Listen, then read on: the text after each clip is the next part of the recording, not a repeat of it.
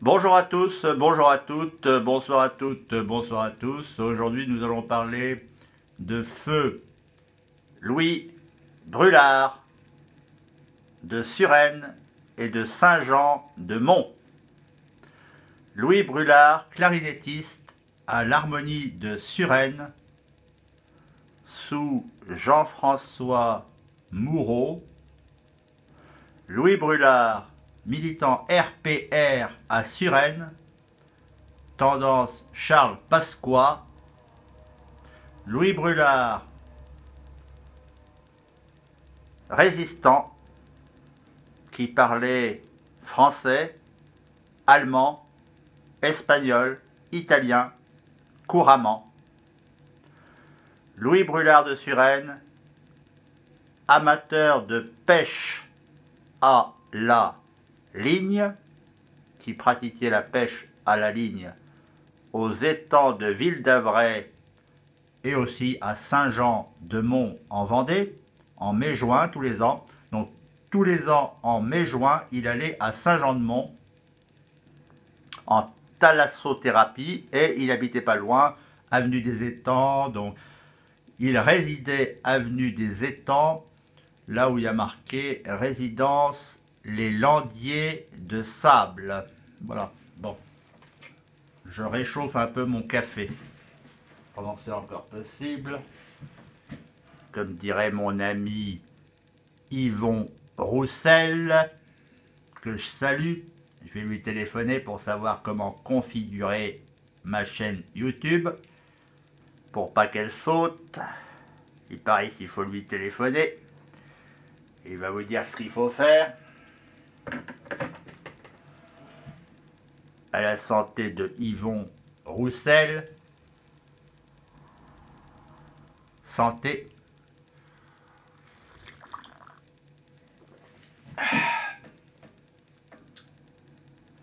Donc Louis Brulard de Suresnes était comptable à la comptabilité à la direction générale de la SNCF, SNCF Paris-Saint-Lazare, tout près de la gare Saint-Lazare, tout près, euh, il garait sa Lada jaune, il avait une euh, Lada jaune qu'il garait rue de Milan, tout près du café Le Milan, tout près de l'association de Roger Garaudy, Appel aux vivants.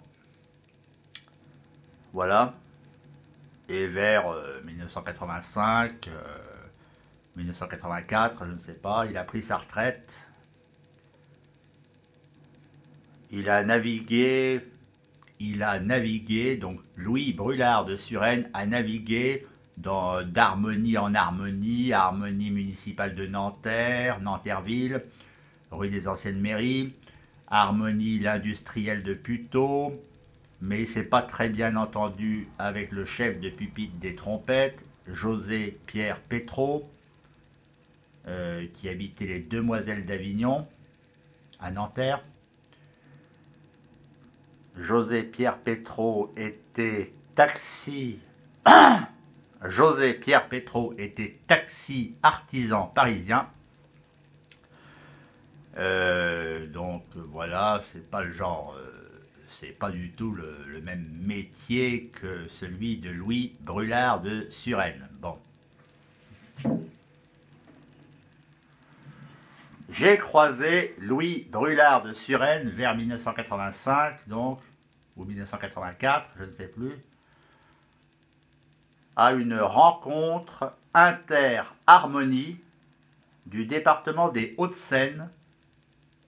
Et cette rencontre inter-harmonie des harmonies du département des Hauts-de-Seine avait lieu à la maison de Nanterre, à Nanterre, vers 1984 ou 1985.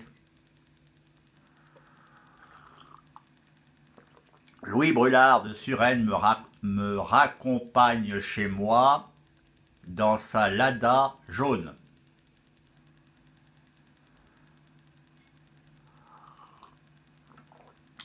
Il me présente son fils, je ne donne pas le prénom parce qu'il habite toujours Suresnes. Je crois qu'il pratique le rugby, donc Le rugby club de Suresnes est dirigé euh, notamment euh, le président d'honneur. Le président d'honneur du rugby club de Suresnes, c'est le commissaire divisionnaire Robert Broussard, qui a arrêté Jacques Messrine, 84 rue Vergniaud à Paris, en 1973, notamment. Hein. et puis, bon.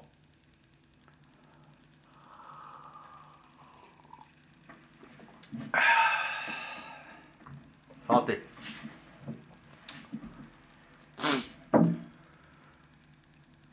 Donc, euh, Louis Brulard de Suresnes dirigeait également une association de photographie, de photographie artistique, Sonophot Suresnes, S-O-N-O-P-H-O-T Suresnes, Sonophot Suresnes. C'est là que j'ai rencontré Madame Laurent, Madame Laurent qui habitait rue Ampère à Paris, tout près de mon rhumatologue de l'époque, Arthur quelque chose je donne pas le nom.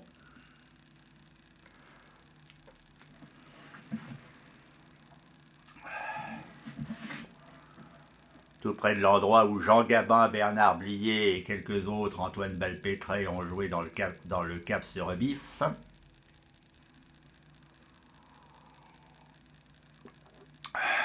Franck Villard, euh, euh, Villard, Maurice Biro, le cap sur Bif s'est tourné pas loin de la rue Ampère à Paris.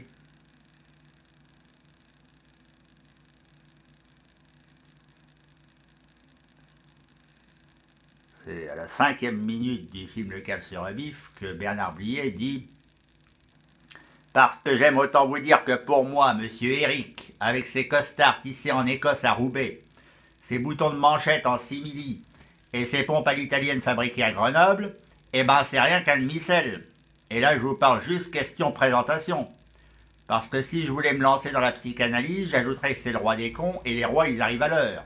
Parce que moi, mon cher maître, des rois, j'en ai connu. Et puis pas des petits, des Hanovre, des Hohenzollern, rien que des michetons garantis croisade.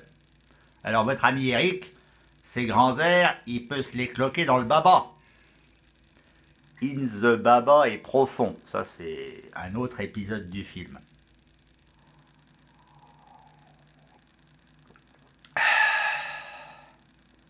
T'as qu'à organiser une loterie.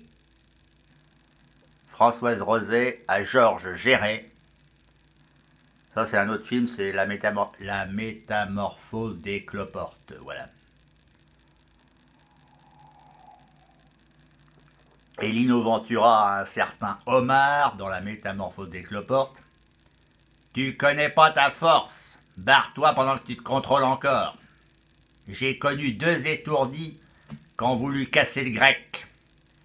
Il y en a un qui a fini dans le canal de l'Ourcq, au fond du canal de l'Ourcq, et l'autre dans une malle en osier, dans une malle en osier à la consigne Saint-Lazare. Saint-Lazare, je parlais de la gare Saint-Lazare. Donc Louis Brulard était comptable à la direction générale de la SNCF Paris-Saint-Lazare et jouait de la clarinette, donc il était clarinettiste et jouait de la clarinette à l'époque à l'harmonie SNCF Paris Sud-Ouest, Paris S, Paris SO, la Renaissance, Harmonie, donc l'harmonie s'appelait l'harmonie La Renaissance, Paris SO, ça veut dire Paris Sud-Ouest, gare d'Austerlitz, harmonie basée gare d'Austerlitz, encore une autre gare. Bon. En 1986, Louis Brulard de Suresnes me permet d'assister à une ou deux répétitions de l'harmonie La Renaissance Paris SO, gare d'Austerlitz.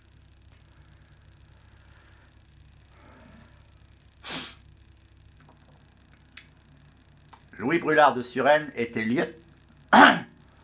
était lieutenant dans la Résistance. Lieutenant Louis Brulard de Suresnes, dans la Résistance. Il m'a parlé de la commandanture Opéra Place Furlich, métro 4 septembre, tout près de la Potinière, qui ensuite s'appelle euh, la Pépinière Opéra, là où j'ai rencontré, euh, là c'est moi qui parle, hein, là où j'ai rencontré Claude Pieplu, c'est-à-dire que Claude Pieplu et sa femme se sont assis à ma gauche, au troisième rang extrême droite de la Pépinière Opéra, à un one-man show unique, à une représentation unique de Raymond DeVos vers 1999. Donc vers 1999, j'assiste à une représentation unique de Raymond DeVos à la Pépinière Opéra. Je suis assis au troisième ou au quatrième rang extrême droite. Claude Pieplu s'assied à ma gauche, la femme de Claude Pieplu à la gauche de Claude Pieplu. Et Claude Pieplu me dit, alors que je ne lui ai rien demandé, je ne l'ai même pas regardé, si un peu comme ça, il me dit L'ouvreuse m'a demandé de m'asseoir à côté du jeune homme à lunettes. Bon, fallait, hein, fallait oser.